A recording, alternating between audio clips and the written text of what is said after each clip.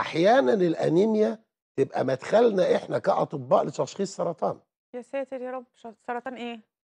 حاجات كتيرة وبالذات إمم. سرطانات الجهاز الهضمي إمم. ودي بقى النقطة اللي أنا عايز أعلق عليها إمم. يعني الأنيميا. ساعات بتبقى مدخلي إلى تشخيص سرطان المعدة. أو سرطان القولون بيبقى من الأنيميا نسبتها كام بيجي المريض مش. شرط نسبتها لكن المريض بيجي بحاجة اسمها refractory anemia. أنيميا غير قابلة للشفاء. يعني بيجي يقول لك والله يا دكتور أنا من خمس ست شهور آه، بحلل لقيت الهيموجلوبين بتاعي ستة إمم. أو سبعة إمم. رحت للدكتور اداني حديد وعلق لي محاليل واداني نقل دم وبقيت كويسة بعد شهرين لقيت الدنيا رجعت تاني معايا بس الأرقام تبقى واطية كده 6 و7 آه لكن اللي 9 و10 وكده دول إيه؟ هنا بقى تشخيص الأنيميا إمم. أنا عشان أشخص أنيميا ما. بكتفيش بعد الدم بس إمم. يعني عد الدم أهلا وسهلا اللي هو. ال CBC. ببص في ال CBC هل أنا عندي أنيميا بس ولا عندي أنيميا وانخفاض في كرات الدم البيضاء والصفائح الدموية.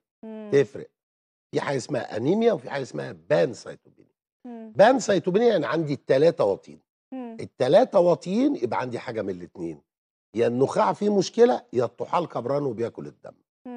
لكن عندي أنيميا بس يبقى هطلب للمريض أول ما أشوف اولا هبص عليه كلينيكيا. أبص على عينه.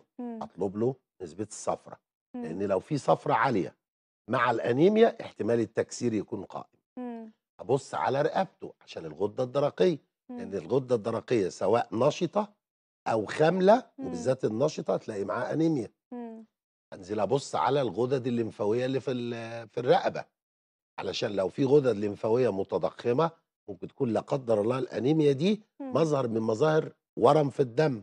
زي اللوكيميا أو الليمفوما نعم. انزل لتحت شوية افحص الطحال بتاعه أشوف لون شفايفه أشوف كف ايده تمام اسمع القلب لأن ممكن يكون في تسارع في ضربات القلب أو خفقان زيادة أو لا قدر الله مع الدرجات الشديدة من الانيميا يحصل تضخم في عضلات القلب إمم. تمام وابدأ اطلب للمريض الفحوصات بدءا من نسبة الصفرة شوف الغدة الدرقية شوف نسبة الحديد مخازن الحديد نسبة تشبع الحديد في الدم ولازم أقيس حاجة اسمها عدد الخلايا الشبكية اللي هي الريتكس. عدد الخلايا الشبكية دي اللي في الدم دي بتؤشر إلى احتمالات النخاع شغال إزاي.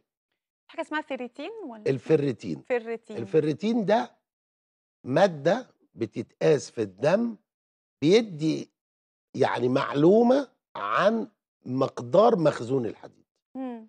بس خدوا بالكم الفيريتين يعلى مع حالات التهابية في الجسم إمم. يعني يعلى مع تليف الكبد مع التهابات الكبد المزمنة إمم. يعلى مع التهابات الرئة المزمنة إمم. يعلى مع بعض الأورام لا قدر الله طب لكن لو هو حد ما عندوش أي حاجة منتي والفيريتين ده عالي يبقى معناها إيه؟ الفيريتين عالي ولا واطي مش عارفة لا برضه. الفيريتين يبقى واطي آه. يبقى مخزون الحديد قليل آه okay. أقل من 15 إمم. يبقى الحديد والفيريتين وحاجة اسمها TIBC اللي هو مقدار تشبع الحديد في الدم إمم. تمام إمم. دول لو واطيين يبقى دي أنيميا نقص حديد